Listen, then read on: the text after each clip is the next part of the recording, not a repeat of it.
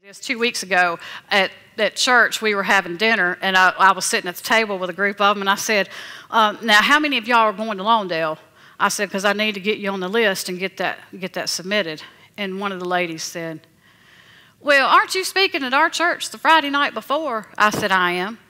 She said, "Well, are you going to say the same thing at Lawndale that you say at our church?" And I said, "Well." I hadn't planned on it. I said, but what difference would it make? That's six days later, it'll be brand new. they just cracked me up. So, but one of them, last week I called her because I'd read something and I thought was funny. And I thought, well, let me try it out. If she, if she gets it, we're, I'm good. So I called her and I said, I want to, uh, I read something funny today and I really want to use it at Lawndale, but I want to try it out on you, okay? Is that good? She said, oh, yeah, it's good. I said, okay, here goes.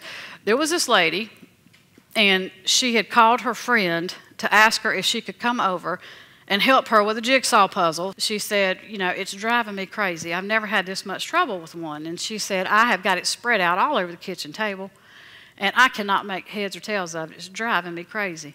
So her friend said, Yeah, I'll walk over there in just a minute.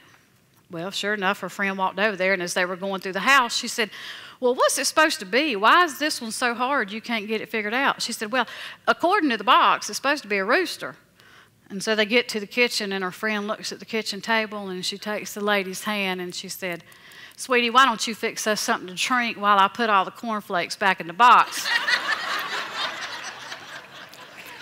I appreciate y'all getting that. Thank you. Thank you.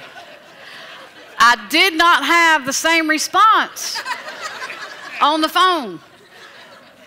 My, my practice person just went silent, and then she said, Uh huh.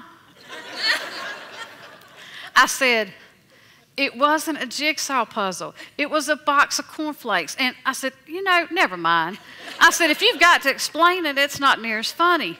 And she said, Oh, well, just consider it a delayed reaction. I said, That's what I'm afraid of.